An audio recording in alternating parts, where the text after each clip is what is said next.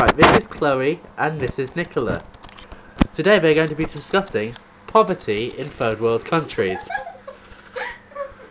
I think it's bad. They need food. With each other, not me. I'm just a cameraman.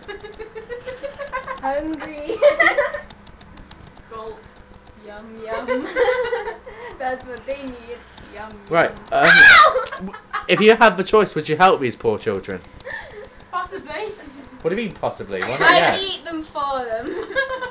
That's why they're not hungry. And no, I, I would help them.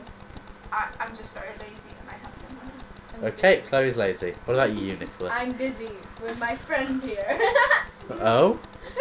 Please so more.